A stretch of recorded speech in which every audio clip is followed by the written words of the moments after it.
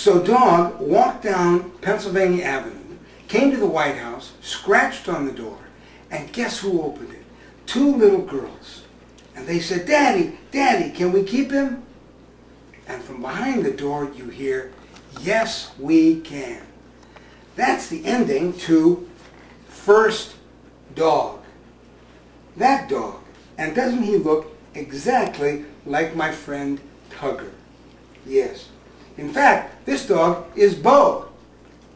Bo is the new first family dog. I wrote this book. My name is J. Patrick Lewis.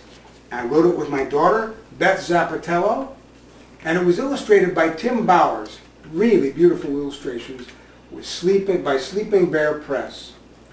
It's available, oh I'm happy to tell you, it's available in your bookstores right now.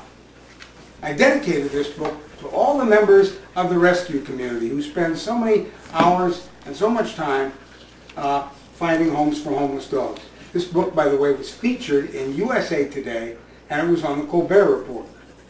In short, it's about the first dog, this dog, who's looking to find the perfect home. So he goes all over the world. Yes, he does. He goes all over the world trying to find the perfect dog, the perfect home, and he meets all sorts of wonderful dogs, like this one who's licking my ear. And but he never seems to be able to find the right home. So he comes home and he goes into the park, falls asleep, wakes up, and he sees a newspaper that says First Family looking for a dog. So he walks down Pennsylvania Avenue.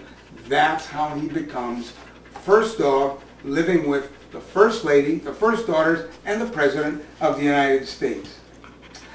My favorite dog, by the way, did I say, say this? My favorite dog is a French Poodle because I love my own dog, who is a French Poodle, a standard Poodle. Her name is Luna, and a Bichon named Pearl, all white. Hey, do you have a favorite dog? Do you have a favorite dog breed? Then why don't you go to my website, look at that, www.firstdogwhitehouse.com. You just click on that and you can tell me all about your favorite dog. Anyway, look for First Dog in a bookstore near you. It's there now. And thanks for watching. And I'm so happy that I have such attentive listeners, my canine friends. So see you soon in a bookstore with First Dog. Good night.